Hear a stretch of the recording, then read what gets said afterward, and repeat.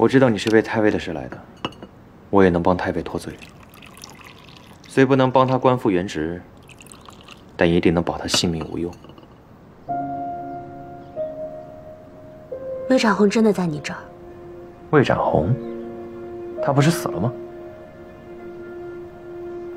他若不在你这儿，你拿什么帮我爹爹洗脱罪名？我自有办法。可毕竟此事非小，太尉的罪名牵扯到西昭，满朝文武都避之不及。我一个外人，与太尉非亲非故，总不可能多管闲事。除非，除非太尉是我的家人，我卓文远便会豁出身家性命帮太尉脱罪。家人？你想逼我嫁你？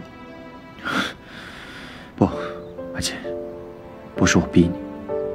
可如今要救太尉，这是唯一的办法。